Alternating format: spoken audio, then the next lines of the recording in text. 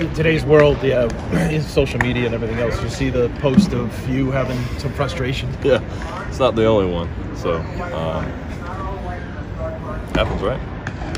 I wouldn't be here without that. So, Is that, I mean, it's just the, the fire of being frustrated by what went on the field?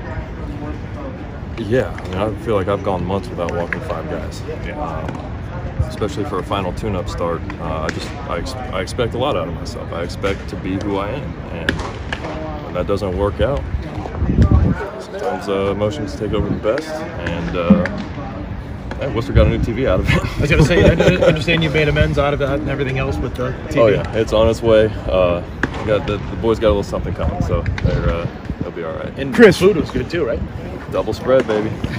It does happen. I mean, you know, it happens all the time in the big leagues. But it was caught on video, and people see it.